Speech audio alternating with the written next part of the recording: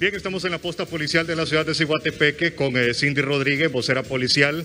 Importante hablar sobre el combate a la pandemia del COVID-19 en todo el territorio nacional. HCH pues siempre haciendo gestiones y obteniendo una respuesta positiva. En esta ocasión Inversiones Handal haciendo un donativo de equipo de bioseguridad a la Policía Nacional Preventiva en Ciguatepeque, que tanto se necesita este equipo para ustedes que están en primera línea.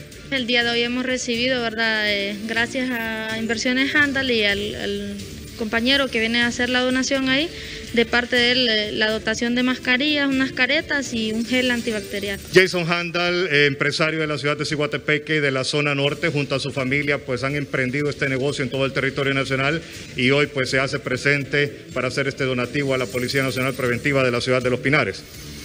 Bueno, saludar primeramente a todos aquí, eh, a la Policía Nacional, siempre pues tratando de colaborar con ellos, eh, poner un granito de arroz ya que ellos están presentes pues en todas las necesidades de nosotros, e incitar a todos los empresarios de, de aquí de Ciguatepeque que colaboremos, que les ayudemos, que la carga aquí es de todos, que no los dejemos solos, pues aquí venimos con este pequeño grano de, arroz, eh, pues ayudarles.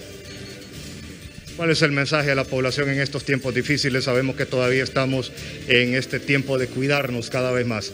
No, pues incitarles que la pandemia no ha pasado, que el gobierno pues eh, ha tratado de, dar espacio a la gente para que pueda abastecerse de alimentos, que también traten de ahorrar dinero, pero que nunca nos olvidemos de, pues, cuidarnos, de protegernos, de tomar en consideración que la pandemia pues eh, es algo difícil del cual nos tenemos que proteger.